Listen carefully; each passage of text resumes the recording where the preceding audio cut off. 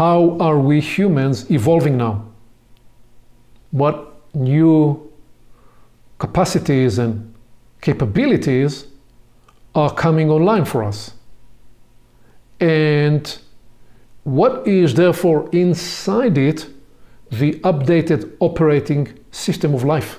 So if we are emerging to discover a much larger prospect of what human life is about, if we are in the early days of what may be thousand years of new human flourishing, of the possibilities of human into universal life, what is the operating system of life? What is the operating system of leadership? What is the operating system of every facet and every domain inside this new context?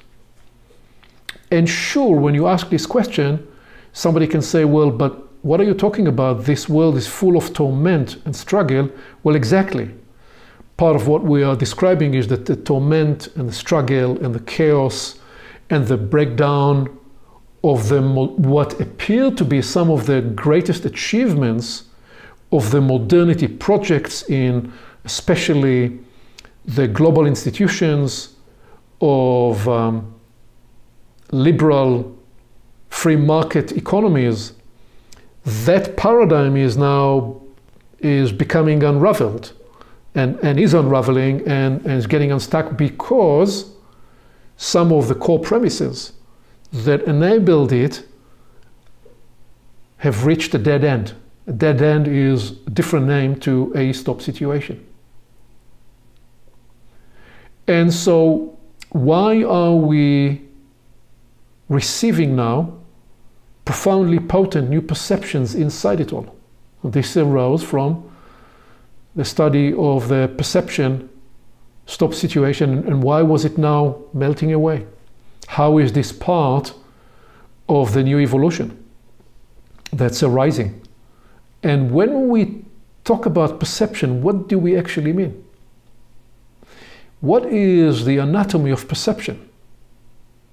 Because we're surely hinting to more than you read a line or even a paragraph in a book or in a Google search. That's not a new perception. That may be new information. So, what's the difference between information and perception? And how can perception be an unlocking for latent human capacity? And in the reverse, how can unlocking new human capacity lead to new and profound perceptions. And inside it all, what was the evolutionary purpose of the last 3,500 years, those 3,500 years epochal journey?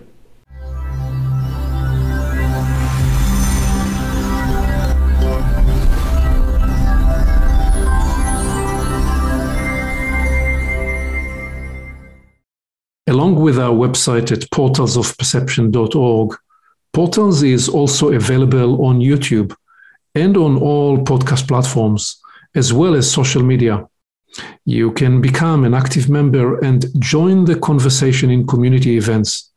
And you can help us get the word out by liking this content and by sharing it with your friends.